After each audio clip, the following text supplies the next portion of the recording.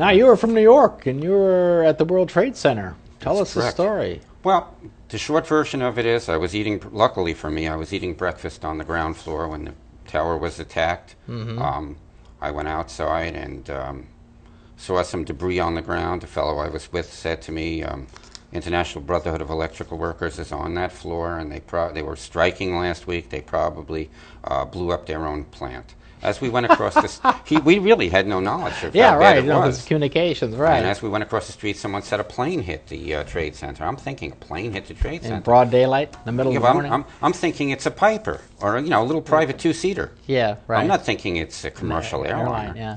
And then as we looked up, uh, the fellow I was with had been there and part of the reconstruction after the first the, uh, attack, and he said to me, "This is a big thing," and he named off all the buildings and all the people that were above it. Yeah. And they had a businessman's luncheon at Windows on the World and breakfast, not luncheon. Yeah. At Windows on the World, and uh, he named off all the people that rented space up there, and you know we sat stood there in awe. It was just tremendous. Oh. And then the second plane hit, and then we knew what was happening. It was, then you yeah, know, then the saw it. surprise was on. Yeah. and So you didn't get injured. You just no, like, all around me, pieces of concrete were hitting the Yeah, ground. oh, yeah, It was just coming down. People were screaming, crying.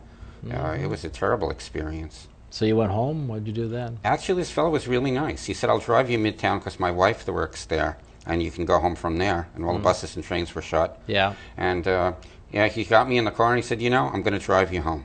Mm. Drove all the way up to I think it's best to get out of Manhattan altogether. He did. He drove me to Riverdale, which was Oh, just okay. Absolutely. He was uh, great, and he had had uh, heart surgery recently before that. Oh boy. I took him in because my wife worked for a medical doctor, and I took him in to see the doctor, and the doctor checked him out and said Hmm. no he was stress, fine, no and we sent him back on his way.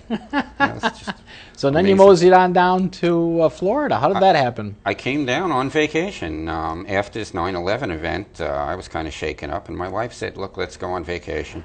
I had some friends from NASA years before I had come down to see them, Uh huh. and we came down just to to see what it was like on the coast and relax for a week.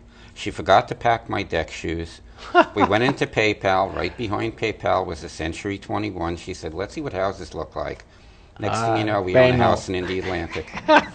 Haven't looked back since. It's a great experience. Are you on the water inland or? Uh, I'm a thousand feet off the ocean, according to uh, my insurance prices. that's, right. That's the distance from the. All right. So when is the primary? August 26th. August 26th. That's the big day. All right. So we have sir. Alan Bergman.